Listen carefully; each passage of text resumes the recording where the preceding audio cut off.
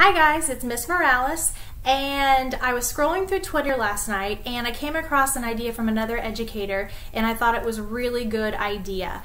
Um, with the delay of school coming two weeks later than we should have normally started, I thought to myself, well, what if your child doesn't have access to books right now? Um, and so that idea just kind of morphed from there off of what the other educator had done. Um, and so I thought maybe I would start something called a bedtime series that I'm going to try to do a book um, every single night until school starts. Uh, 20 minutes a day is super important to your child's education, your scholar's education. Um, and so I wanted to kind of help contribute that and kind of alleviate, especially if your child doesn't have access to a book right now. Um, so I wanted to create this uh, called Bedtime Stories. Um, I'm going to be reading a book today called The 11th Hour. Uh, Curious Mystery, and it's by Graeme Base. He's also the author of another book called Animalia. Um, and this is a great book. It's about a book where a, um, I believe it is an elephant. Yes, an elephant is turning 11. And he decides to throw a big bash with his friends, 11 of his friends, um, and he is going to create 11 games as well as a big old feast at the end for his birthday to celebrate. Well, things don't go quite as planned for this elephant. Um, his games kind of have disastrous results throughout the book, as well as a big old disaster at the end for this giant feast he's created. I really love this book due to the illustrations. You can tell by just the front cover alone that there is a whole lot going on. But what's interesting about these illustrations is that there are hidden pictures and meanings throughout this book that you really kind of get your got to get your hands on it in order to see this. So it creates a bit of a mystery. So I wanted to go ahead and read this to you tonight to start off our bedtime uh, stories. And with that, I'm in my bed wearing my Gangster Napper shirt. I thought that would be appropriate to start it off. So, the 11th hour by Graeme Base. When Horace turned 11, he decided there should be some kind of celebration for my friends, he said, and me. For though I've been the age of eight and nine and six and seven, this is the very first time that I'll ever been eleven. With that, he set to work and wrote the name of every guest and the eleven sorts of food that elephants like best. He wrote the invitations next and sent them off that day and finally 11 games for everyone to play. Now Horace was a clever lad. He planned the day with care, ensuring that his party would be quite a grand affair. Sorry, I know there's a little bit of a glare on that.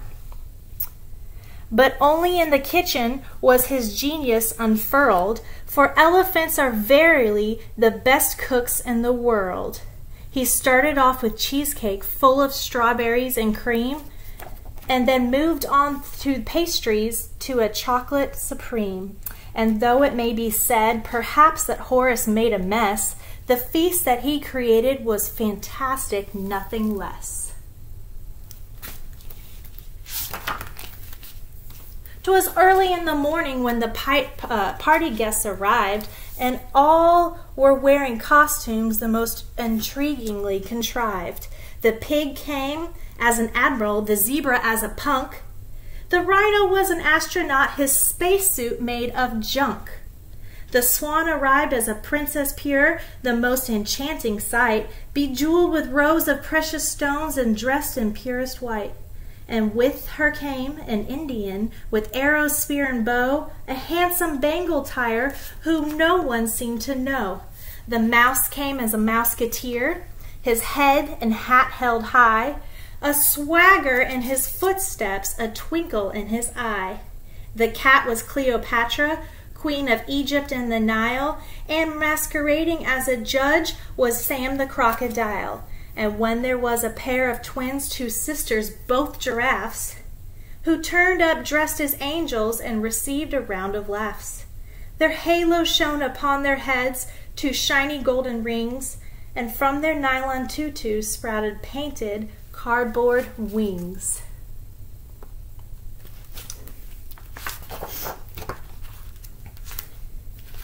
The guests were met by Horace as they stepped into the hall. He dressed as a centurion, of Rome before the fall. And once inside, they looked around and noticed with a smile the way the hall had been designed in high Renaissance style.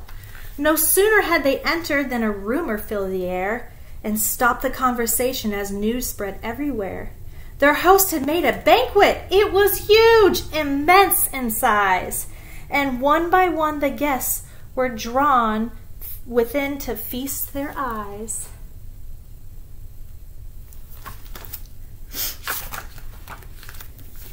For there upon the table was the feast that Horace made, a wondrous spread of cakes and buns and jugs of lemonade, and in its midst of centerpiece of grand design was placed, left no doubt that young or Horace had superb artistic taste. But if the guests had hoped to eat the banquet then and there, they soon found out their host had plans for what they'd eat, for when they'd eat, uh, what they'd eat and when. For Horace told them fi- firmly not a crumb would they devour until the time he had the set the eleventh hour.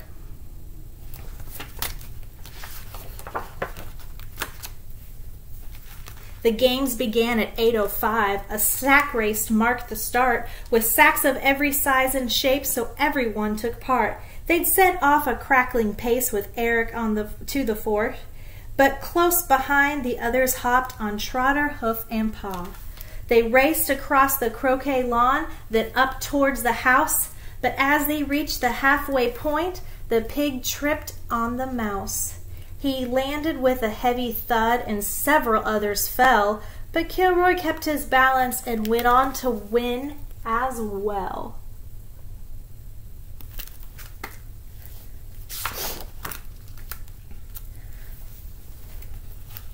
The ballroom was the venue for the second party game, but though the rules were simple, no one seemed to know the aim. They, cha- they charged around a ring of chairs beneath the chandeliers, and while Sam played Mozart magic flute and uh, British grenadiers. One by one, the chairs became just piles of splintered wood. The guests all agreed that this new game was jolly good.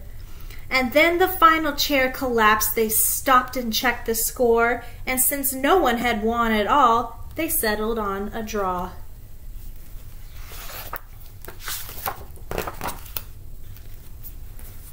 The pig procured a pack of cards, and soon the game began. Unbeknownst, unbeknownst, excuse me, unbeknown to all the to all the rest, the admiral had a plan. For Oliver won every chick, trick. His conquest was complete. A string of luck, or could it be the porker was a cheat? A little later in the day, some guests played snakes and ladders. Upon a board that squirmed and turned, the pythons, asps, asps, and adders. The board was set, the race was won, the game had just begun. When Thomas went and ate the dice, no one had ever won. A cricket match was organized for those who knew the game. The twin giraffes had no idea but fielded just the same. But Oliver, a boastful pig, had made it understood that when it came to batting, he knew he was rather good. The tiger donned the keeper's gloves and crouched behind the stumps and waited for a chance to show his skill at leaps and jumps. The pig went for a mighty swing but only clipped the ball. Maxwell leapt and caught him out. The pride comes before the fall.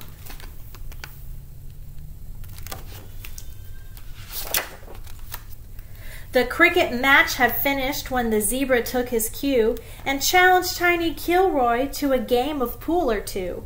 But Kilroy's skill was quite immense for someone so small, though Eric thought he'd win. Hoofs down, he didn't sink a ball. Other guests enjoyed a lively game of blind man's bluff. With Piggy in the middle, you'd think he'd had enough. He blundered blindfolded round the room, groped, grabbed, and gripped, with all others squealed with joy, dogged, dodged, ducked, and dipped.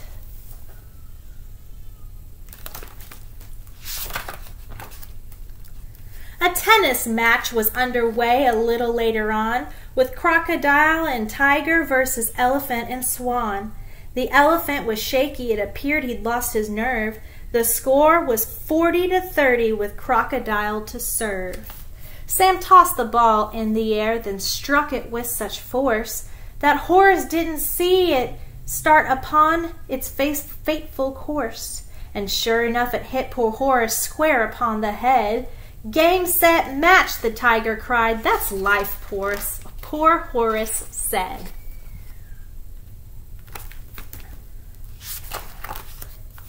And meanwhile, midst the Egyptian columns, row on a silent row, a seeker searched, while others hid a game that we all know. But through her eyes were large and bright, the cat's success was small, for while she searched the utmost care, she found no one at all. And far above a hill, beyond the tennis court, a rhino and the zebra sat in silence deep in thought. They studied every rook and pawn and king and queen and knight. They both agreed it looked too hard and quit without a fight.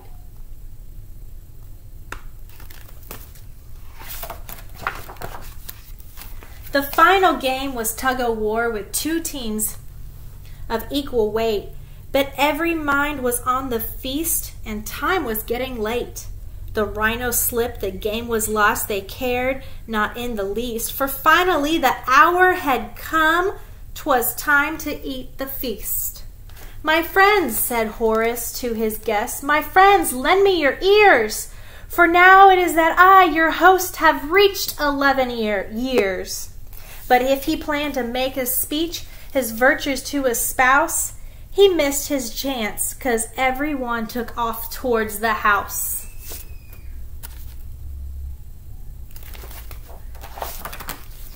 They raced each other up the stairs, eleven steps in all, then past the marble statues leading to the banquet hall. Then there they stopped. Nobody spoke. They stood in disbelief. For all the food had disappeared. Agasta cried, A thief! The cakes had turned in scattered crumbs. No cream was to be seen. And nothing now remained what once there, uh, where once the chocolate mousse had been. The centerpiece had toppled, not a strawberry was left, but who, they cried, could possibly have managed such a theft?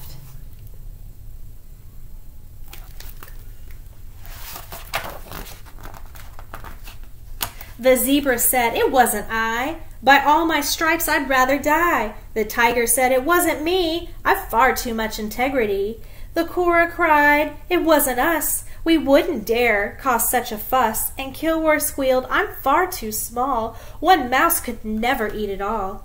The swan looked darkly at the pig. The thief must have been who's someone who's big. But Oliver denied all the guilt and said, Now, Thomas, he's well built. The rhino sobbed through sniffs and tears. I've known our host for years and years, and though my appetite is large, I must deny this dreadful charge. The cat had yet to say a word which Eric thought could be inferred as, as prima facie evidence of feline guilt. Read this offense. But Alexandra lashed her, chair, uh, her tail. Your theories are to no avail. We cats do not steal each other's food. It's wicked, bad, and very rude. The judge was next. I too deny Although I have no alibi, all blame for this horrendous crime. He blabbed on for quite some time.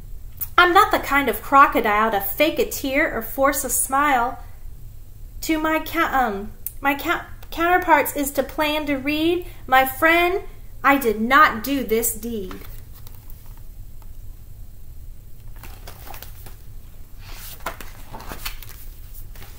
The mystery was curious, the guests were at a loss, but Horace had initiative. He showed them who was boss. The feast was gone, we can't change that, but now it's clear to see that what we need is cheering up, just leave it all to me. He rushed into the kitchen and was gone for quite a while, then re-emerged with sandwiches, a flourish, and a smile. This lot is not as fancy as the birthday feast, he said, but eleven times as healthy, 'cause it's made with whole wheat bread. Then they sat and ate their lunch. There came one last surprise when Horace asked everyone to kindly close their eyes.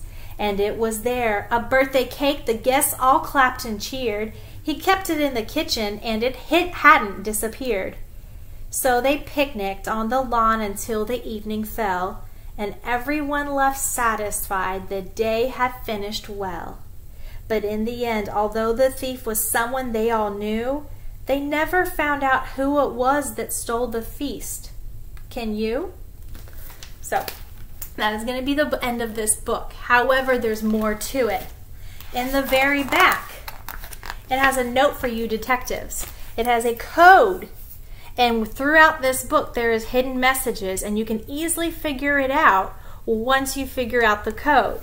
So it tells you to go through here and replace different letters with other letters, and so it's really interesting. Also, there's a little additional thing on the back of this book. It's called the Inside Story, and it's top secret. So within this, there's within the illustrations, there's something hidden in each one that's really interesting. So this book will be in my library when we get back on the 11th, and the 11th hour. How fitting. So, if you want, if this book intrigues you and you want to look into here, um, it will be in my library for you to look at, and you are welcome to check this out from me as well. Um, these uh, vocabulary word cards that I held up, these might be some of the more difficult words in the book, so I thought I'd go ahead and just write them down. There's something we can dis um, discuss that first week of school as well, and we'll have them in our uh, word wall in our classroom. So I hope that this book is interesting and I will try to find another book as well and we will continue this until I see you on Monday the 11th. Thanks guys!